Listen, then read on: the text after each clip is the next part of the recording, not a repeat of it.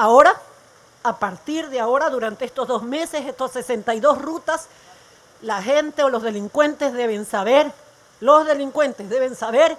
que estas 62 rutas estarán vigiladas y que dentro de las camionetas habrá gente armada, que además estará los militares que podrán hacer retiro de armas si es que las llevaran, desde arma blanca o armas de fuego, que estará la policía lista para actuar y lista para disparar si el caso lo amerita, que están los agentes metropolitanos listos para prestar apoyo también a la Policía Nacional y que está la gente del ATM en moto, lo que permitirá un mejor desplazamiento en caso de ser necesario. Todo esto será coordinado además por el 911 Guayaquil y sobre todo por el responsable o la cabeza responsable de la seguridad en la provincia del Guayas y sobre todo en Guayaquil, el señor gobernador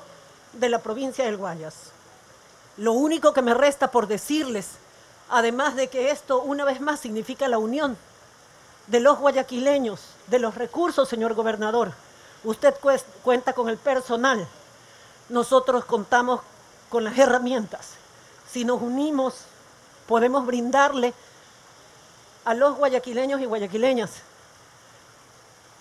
un viento de protección mayor durante estos dos meses, que son meses conflictivos. Señores,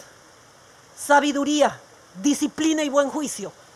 Eso es lo que deben tener en cuenta cada vez que inicien su recorrido en las mañanas y que lo terminen en la noche que los delincuentes sepan que ustedes están en la calle, que los delincuentes sepan que estamos unidos, que los delincuentes sepan que si a la gobernación le faltan vehículos, nosotros se los ponemos, que si le falta personal, también estaremos nosotros, que si le falta herramientas, también estaremos nosotros y que actuaremos en conjunto, de la mano, listos para proteger a la gente de los delincuentes que no tienen ninguna piedad con el ciudadano común, con los hombres, mujeres y niños de esta ciudad.